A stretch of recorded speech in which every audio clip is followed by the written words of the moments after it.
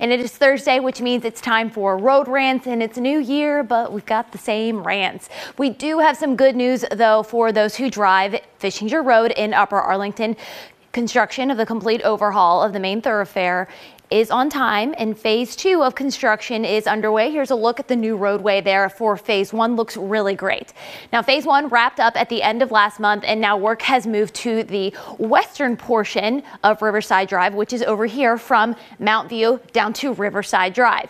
New signage in the area warns drivers that they can expect traffic patterns here in this area starting to change the week of January 8th. That is next week. City of Upper Arlington says phase two improvements will include and will start with a new water line followed by new ADA friendly sidewalks and shared use paths as well as LED street lights and street trees. Adding quote the city's engineering division will be working closely with the construction team throughout the project to maintain and adjust traffic through the construction zone and provide a safe accessible environment for pedestrians accommodate the needs of residents directly impacted by that construction and to keep the community informed on progress. The city says says it greatly appreciates the community's patience and understanding as construction along Fishinger Road continues through the end of this year or perhaps into the beginning of 2025.